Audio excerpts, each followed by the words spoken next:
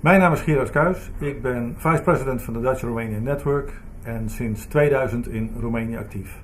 Archicom is een ingenieursbureau wat zich bezighoudt met het optimaliseren van supply chains, het realiseren van industrieel en logistiek vastgoed en het begeleiden van ondernemingen bij veranderingsprocessen. Wij zijn in Roemenië terechtgekomen omdat wij van mening zijn dat Roemenië dezelfde faciliteiten kan gaan bieden als dat Nederland heeft voor internationale bedrijven. Roemenië ligt aan de zuidoostkant van, uh, van Europa en kan vanuit die functie een hubfunctie gaan vervullen uh, in het uh, zakelijk leven in Roemenië. De rol van de DRN is belangrijk voor Nederlandse ondernemers in Roemenië. Het is een platform waarin Nederlandse en Roemeense ondernemers samen worden gebracht.